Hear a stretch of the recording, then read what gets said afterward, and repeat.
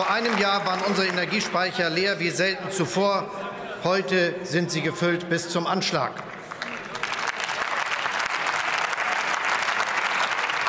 Weil diese Bundesregierung nicht nur redet, sondern handelt.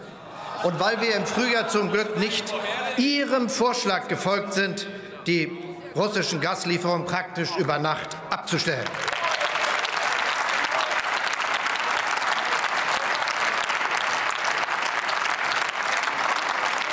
Stattdessen haben wir Deutschlands Abhängigkeit von Gas, Öl und Kohle schrittweise beendet.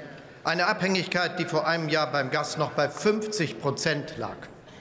Und zugleich hat diese Regierung mit einer in unserem Land gar nicht mehr gekannten Schnelligkeit dafür gesorgt, dass Alternativen da sind. In wenigen Wochen gehen in Norddeutschland die ersten Flüssigkeitsterminals in Betrieb.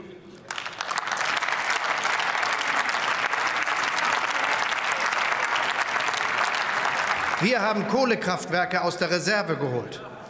Wir lassen die drei verbliebenen Kernkraftwerke bis ins nächste Frühjahr weiterlaufen. Und wir haben die bedeutendste Reform des Energiesektors seit Jahrzehnten auf den Weg gebracht.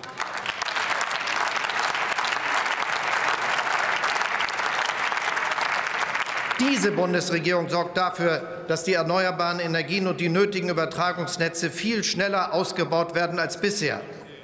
Übrigens auch in Bundesländern im Süden unserer Republik, wo dieser Ausbau bisher stockte.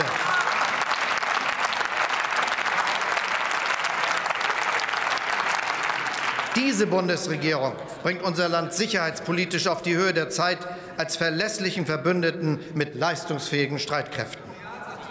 Nachdem Verteidigungsminister der CDU und der CSU unsere Bundeswehr viele Jahre vernachlässigt haben. Es ist diese Bundesregierung, die entgegen einer jahrzehntelangen Staatspraxis die Entscheidung getroffen hat, die Ukraine mit den Waffen zu unterstützen, die sie in einem tapferen Verteidigungskampf Tag für Tag braucht.